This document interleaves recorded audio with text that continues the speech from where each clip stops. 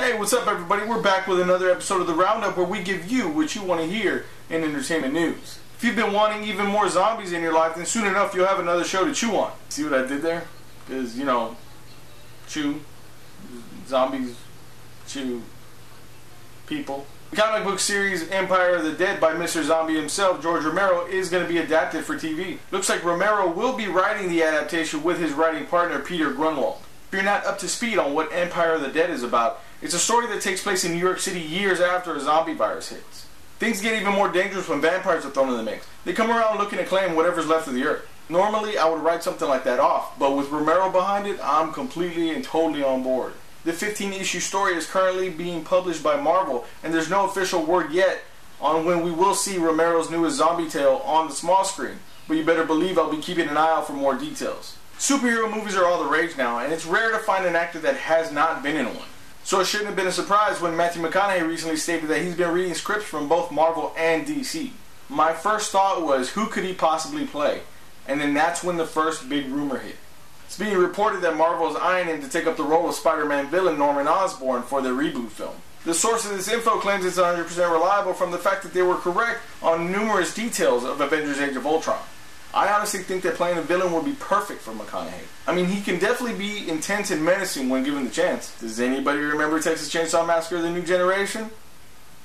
No? Probably just me. I feel like this would really give the Osborn character a chance to grow and evolve. We could even see him possibly throw on the Iron Patriot suit at one point or another if we're lucky. I've been guilty of being critical of some casting choices in the past, but I really feel like this is a good choice if they choose to go down that route. Recently, videos and photos have surfaced from the set of the Suicide Squad film that give us a look at the Joker. And it looks like we've been duped. As I mentioned in a previous video, people went crazy when they saw the picture of the Clown Prince of Crime for the first time, mainly because of all the tattoos. Director David Ayer then said that the tattoos were merely done as a tribute to the character and that it was not the final look.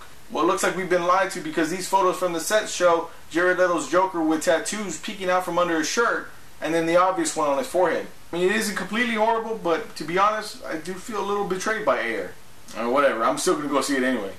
From there, we get to see his choice of transportation, which is a beautiful purple Lamborghini. The Joker and Harley Quinn then have some words with each other, and the trucker gets shot by Harley. Looks like a pretty intense scene between the two, and I like the fact that they actually made Joker very classy, but yet still dangerous at the same time. The production crew is stating that Leto is staying in character on set at all times, and that his performance rivals that of the late Heath Ledger. That's a pretty big bar to top, but hopefully he does a great job. Do you guys want more zombies in your life with Empire of the Dead? How do you feel about the idea of Matthew McConaughey playing Norman Osborn? And what about the Joker's appearance? How do you feel about that? Let me know in the comments below. Click on Bat Joker to subscribe to our channel. Give us a thumbs up while you're there, and if you can, share this video. It's much appreciated. Thanks for watching another episode of The Roundup. We'll catch you next time.